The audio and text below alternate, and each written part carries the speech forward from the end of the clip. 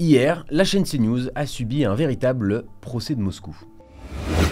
Ce jeudi, les dirigeants du groupe Canal et les animateurs de CNews ont été interrogés par la commission d'enquête parlementaire de l'Assemblée nationale. L'enjeu de cette audience est capital, savoir si oui ou non la chaîne CNews sera encore autorisée à émettre sa fréquence en 2025. La première question est posée par le rapporteur de cette commission, le député de la France Insoumise, Aurélien Saint-Toul. Considérez-vous que Canal Plus remplit des missions d'intérêt public? Alors, ce n'est pas exactement le but d'un groupe privé, c'est pourquoi Maxime Saada, le PDG de Canal Plus, n'a pas du tout compris l'intérêt de la question. Ensuite, Emery Caron demande à Serge Nedjar Est-ce que vous connaissez le nombre de personnes tuées à Gaza par l'armée israélienne Alors Nedjar ne sait pas et Caron brandit cette couverture de libération. Sauf que Libé explique aussi, dans cette même une, que ce chiffre est invérifiable puisqu'il est communiqué par le groupe terroriste du Hamas. Enfin, le clou du spectacle. Si vous venez sur mon plateau, je vous reçois avec plaisir. Merci. Bah écoutez, moi je, je ferai volontiers un débat avec vous, mais sur une autre chaîne.